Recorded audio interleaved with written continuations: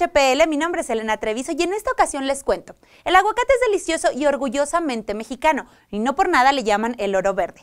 Y aunque fue muy debatido si era fruta o verdura, al final se llegó a la conclusión de que sí, es una fruta. ¿Quién iba a decir que este delicioso fruto de origen mexicano conquistaría el mundo entero y vendría a colocarse como el más popular entre los ingredientes para preparar aderezos? Y aunque no lo creas, hay mucho más de lo que no sabes o tal vez sí sabes de esta delicia.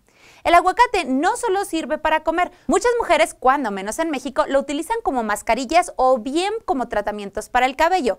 Esto ayuda para mantener una piel suave o un cabello hidratado. Y como te comenté, México es el primer productor de aguacate del mundo, con el 34% de producción, y Michoacán es el número uno con más del 80% de cosecha nacional. Los principales consumidores de este fruto después de México es Francia en primer lugar, seguido por Canadá y luego en tercer lugar está Japón. Este es un fruto milenario. Las evidencias más antiguas de su consumo provienen de cuevas de Coaxatlán, Puebla, con una antigüedad de entre 7 y 8 mil años. Y aunque no lo creas, el aguacate ha inspirado tanto que incluso hay restaurantes con los cuales se sirve absolutamente todo con este fruto.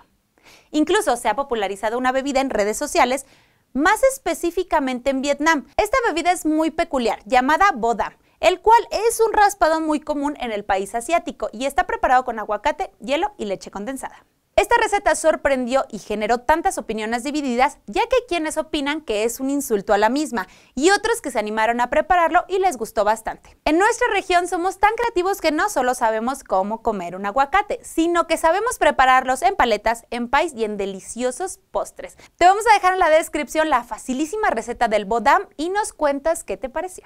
Amigos, mi nombre es Elena Treviso, nos vemos en la próxima. Que tenga bonita tarde. Adiós.